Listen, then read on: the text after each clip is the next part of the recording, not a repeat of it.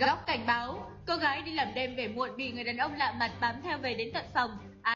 Cái việc mà con gái đi du học ạ, thì sẽ phải đối mặt rất là nhiều cái lắng lo và những cái, uh, suy nghĩ thì những cái việc mà biến thái theo dõi cũng là một trong những cái vấn đề trên. Và theo việc, nhận thức của mình ấy, thì cái việc mà bị biến thái theo dõi không phải chỉ xảy ra riêng ở Nhật Bản, mà thậm chí có thể là cả ở Việt Nam.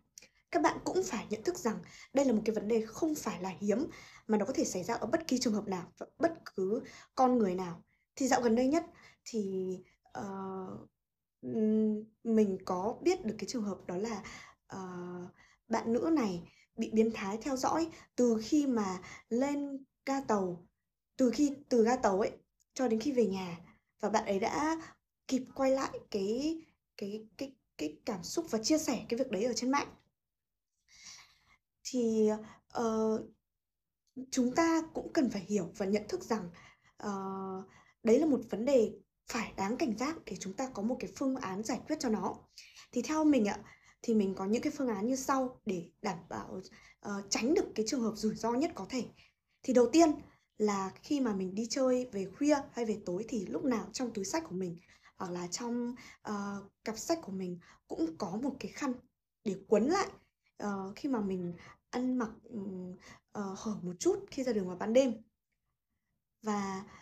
cái thứ hai là mình luôn chia sẻ cái location của mình cho bạn bè của mình, để bạn bè của mình có thể theo dõi được cái hành trình của mình từ cái địa điểm chơi, uh, đi chơi về cho đến khi mà mình về đến nhà.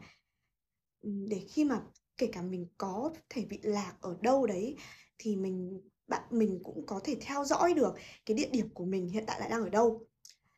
Cái thứ ba mà mình đã thấy là ở Nhật họ đã dạy con cái của họ đó chính là sử dụng còi, uh, dùng vòng tiếng kêu hoặc là còi tiếng kêu. Thì cái này đã được kiểm chứng rất là nhiều.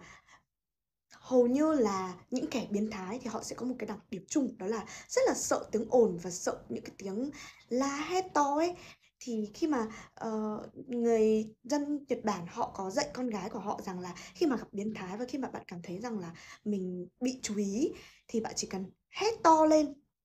hét to lên để cái người kia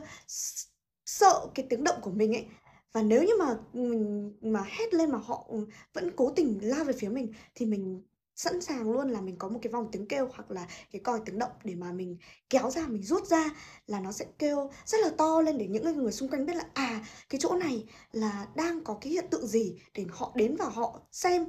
và họ đến để họ xem là là mình đang bị làm sao ấy. Thì mình cái này thấy cái này có cái lợi có khả năng thành công rất là cao và cái này đã được chứng minh rất là từ trước đến nay đã được chứng minh rất là nhiều lần qua những nhiều cái thử nghiệm. Và đấy là những cái bí kíp mà mình muốn chia sẻ cho các bạn hiện tại đang sống và du học ở Nhật Bản và kể cả là ở Việt Nam. Thì các bạn hãy luôn nhớ rằng thật tỉnh táo, uh, và luôn cảnh giác với mọi thứ để có thể bảo vệ được bản thân của chính mình.